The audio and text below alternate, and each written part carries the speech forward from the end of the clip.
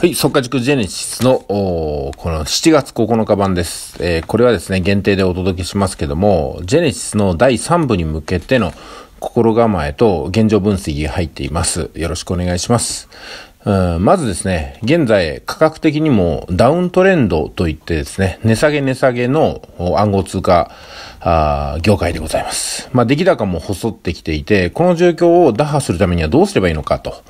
まあ、多くの方は 打つ手なしということなんですけども、まずユーザーは主に投資目的から仮想通貨、暗号通貨を購入しているという、こういうふうな現実に気づいていただきたいかなと思います。えー、もちろんですね、えー、私も含めて、この音声を聞いてる方はみんな投資の目的でやってると思うんですよ。しかし、投資目的としての暗号通貨にはいろんな問題点があることがこの半年で分かってきたんではないかなということですね。まず、税金がバカ高いことですね。昨年暗号通貨で大儲けした人も、納税のために、えー、追っ手で手持ちの暗号通貨を処分することを余儀なくされているのが現状です。まあ私は全く決済してないんで、納税の必要はないんですけども、ちょっと決済してしまった人ってのは、その決済したことによる確定利益分の納税額が高くって、残りの暗号通貨も処分しなければならないということになって、結局、なくなっちゃったってことがね、結構、レポートされています。ね、次に、ニューマネーが入ってこなくなったってことも、見ていかなければなりません。この半年間でどんな問題があったかというと、多くは2つです。1つは、取引所が創業を一時停止とかね、えー、業務改善命令により営業できなくなったみたいなことで、えー、まあ、ストップしているということ。もう一つは、えっ、ー、と、盗難とかハッキングですね。この問題によって、営業がやっぱり、まあ、順当にできなくなったって、この2つの原因がありますよね。一つずつかいつまんでいきますと、ビットフライヤーを中心とした業務改善命令を受けたことで、新規顧客口座開設がストップしてますよね。他の業者の新規口座獲得キャンペーンもぐっと静かになってしまいました。で、Facebook とか YouTube とか、あそれからブログなどのアドセンス広告とかアフィリエイト広告っていうのも出なくなってきてますんで、えー、当然口座開設をする方とか、取引所を作る方とか、取引所にお金を入れる方が減るわけですよ。新しい資金が流入しないなら、相場を押し上げる力はなくなってくるということです。要するに、下げ相場ということですよね。暗号通貨に投資してる多くのファンっていうのは、若い人が中心であり、投資に避ける手持ち金額も限られてると思うんですよ。うん、つまり既存の投資家層っていうのはあ、今までのところ資金が細いんですよね。中には何百万っていうね、お金を入れる方もいますけども、それですら暗号通貨とかね、投資に入れる金額としてはちっちゃすぎるんですよ。何百万とかでは投資にはっきり言ってならないということですよね。で、ユーザーの裾野が、あ投資資金の大半を牛耳っている高齢者にも広がることが望まれているんですけども、投資対象としてふさわしいかということをめぐっては世代間で認識に大きな断絶があるように思います。やっぱお金を持ってる方ってのは不動産ですとかね、保険ですとか、今まで伝統的に行われていた金融商品、株とかには投資しますけども、仮想通貨を信用してないと暗号通貨危ないというふうな認識があって、その認識を改善するような放送を若い世代の方もあまりしてないので、結局悪いイメージだけが浸透してしまって、えー、大きな資金を持ってる人は暗号通貨市場に参入しにくいという現状があります。で、かつですね、じゃあ、若年層の方が、あじゃあ、大きく資金を増やしたかって言ったら増やしてないわけなんですよ。むしろですね、被害に遭って亡くなっちゃったっていう方ばっかりなんで、これはお金を持ってる層は、おいそれと入ってこないっていうのが、この6月末、そして7月の半ばぐらいまでに、えー、まあ、ある現実ですよね。こういうふうな事件とかね、トラブルで、業者もすっかりと信頼を失ってしまいました。で、きっと暗号通貨の元からのファンも、どこの業者を信じていいのかわからないとか、どのウォレットだったらいいんだろうか、みたいなね、混乱を起こしてるんですよ。そんなところに誰が入ってくるんやって話ですよね。えー、で、それにもかかわらず、暗号通貨クラスターには、規制強化に対する根強い反論という抵抗があるわけですね。今後、ICO 詐欺が徐々に表面表面化してきてですね、社会問題化すると思われるんですが、スキャンダラスなニュースが増えれば、ニューマネーの獲得は一層難しくなります。ですから、ICO で詐欺にあったお金をなくしたっていうふうにね、えー、言うなってわけじゃないんですよ。現実、いろんな目にあって、痛い目にあってますから。だから最初の参入者さんが、こんなに見る目がないっていうかね、資金を失ってばっかりの、そんな市場に誰が入ってくるんやってことにそろそろ気づかないといけないんですよ。だからガチホールドってのはすごく痛々しくって、単なる塩漬けのことにしか見えてないんですよ。あの、暗号通貨が初めての投資の方ってのは、あの、あんまり感じないでしょうけども、ずっと昔から株や FX をやっていると、このね、ガチホールドと単なる塩漬けっていうのは全然違って、あの、まあ、自称ガチホールド、これ全部塩漬けだと、暗号通貨の世界ではね、見た方がいいと思います。で、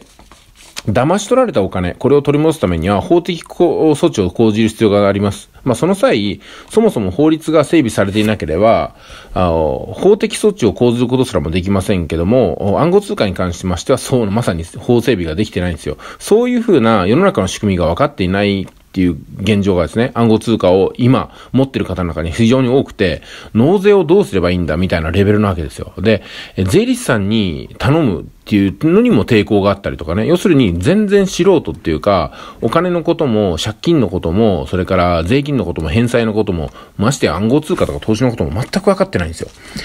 で、えー、今日6月9日振り返ってもらいたいんですけども、どうだったでしょうか？ちょっとは法律のこと、それから税金のこと、暗号通貨のこと、こういうことをね、投資のこととか分かるようになってきたような感じですかね？うん。まあ、まさに最初暗号通貨を始めた時にいろんな期待を持ってたと思うんですけども、この速化塾っていうのはまずはジェネシスって言って一から始めましょうっていうスタートでした。そして、第2部に入ってですね、えー、出エジプト記といって、無知から、あ誘致へ、だから知識のない状態から知識のある状態、判断基準のある状態に抜けていきましょうっていう話をして、第3部では、あやっぱり心が大事だよねってことで、これからね、マインドセットの展開をしていくんですけども、どうでしょうかね。未だに被害者面をしていたりとか、学ぶべきことを学んでいないとか、記憶するべきことを記憶しないっていう状態だと、さすがに、なんですかね、モーゼの10回によって、こう、ね、あれですよ、航海がバーッと開かれてですね、海の底に沈んでしまったエジプト軍と巻き添えにあって一緒に死んでしまうようなことになりますんで、えー、やっぱり今からでもですね、学ぶことは学んで、えー、知るべきことは知って、それから、なんですかね、あの、被害者なんでしょうけども、被害者感情を捨ててですね、自分の見る目がなかったってことを認めるなら、本当に一から学習を始めていかなければならないと思います。法的な枠組みが確立しないうちっていうのは、機関投資家のお金は絶対に流れてこないんですよ。うん。だから、投資資金の大半は機関投資家が持っているわけですから、法的な枠組みを整備しない限り暗号通貨っていうのはね、メジャーにはなれないってことも認識した方がいいかなと思いますよね。で、こういうふうなことを考えながら私たちはね、どういうふうに、この暗号通貨に対して、考えていけばいいのか。そして、えー、すぐに儲かりますよみたいな話に飛びついちゃったこと、そしてそれで被害を受けたこと自体がですね、暗号通貨に対してものすごく不信感を持たれてしまったっていうのはどういうことかって言ったら、要するに詐欺案件を紹介する人悪いですよ。悪いんですけども、そういった詐欺案件にもう大した考えもなく飛びついて、しかも被害を出してしまったという、この両方がですね、この暗号通貨業界の信用を失ったことに加担してるわけなんですよ。だから、やっぱり、騙された上でこういうことを言うのも本当に酷なんですけども、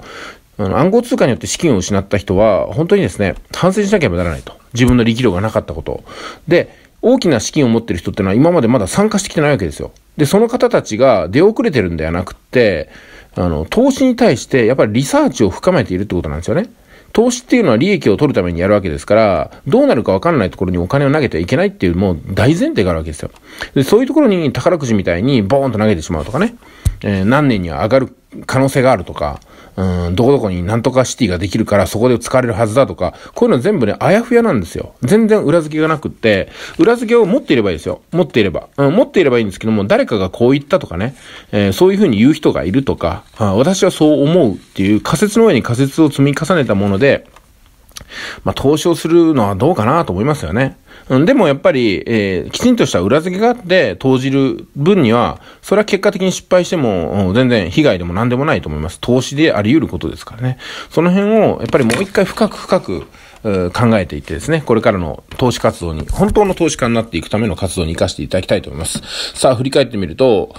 きっちりと暗号通貨とかね、FX、それから他にも案件ありますけども、確実に資産が増えたかどうか、今日の時点ですよ。今日の時点で、いややっぱりやってよかった。今の時点で日本円が増えたよっていう状態。この状態になっているかどうかなんですよ。日本円が増えて、プラス、決済してない暗号通貨の含み益も増えてっていうことじゃないと、投資に成功したとは言えないと思います。で、こういった課題が日々私たちの前にあるわけですから、将来的には決済した時にはみたいな仮説をもうやめることなんですよね。ちょっと厳しいこと言いましたけども、心を引き締めてもう一回、まあ、失敗もありますんでね、思い違いもあると思いますけども、これからもう一回、えー、第一歩を記すつもりでスタートしていただきたいかなと思います。えー、それでは、速稼塾のジェネシス第3部でお会いしましょう。